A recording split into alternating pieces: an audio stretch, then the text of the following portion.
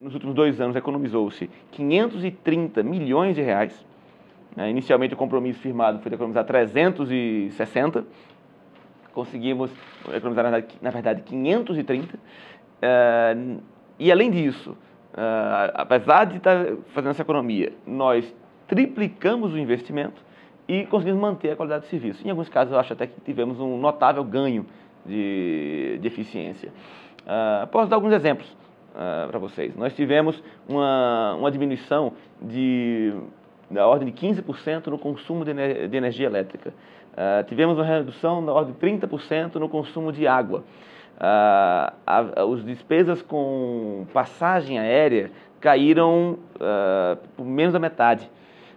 as despesas com correios também caíram para um terço do que era, do, do que era gasto anteriormente. Por quê? Através de uma melhor gestão dos contratos, através de, de contratos mais bem desenhados né, e através de um estudo mais racional da, da mão de obra terceirizada, eventualmente, ou eventualmente do consumo que se faz de matéria-prima. Publicava-se no Senado diariamente né, a ordem do dia, a pauta dos trabalhos, tanto do Senado quanto do Congresso Nacional.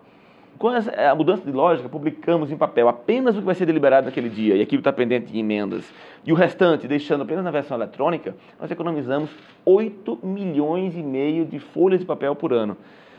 Uh, isso dá seis carretas de, de papel, 180 árvores. Uh, é claro, talvez esse detalhe, especificamente do ponto de vista financeiro, nem fosse o mais impactante, mas do ponto de vista de responsabilidade socioambiental, né, e como um, um, um, exemplo do que foi feito de forma geral, de ganho de eficiência do Senado, eu acho que isso demonstra bastante né, a tônica da administração.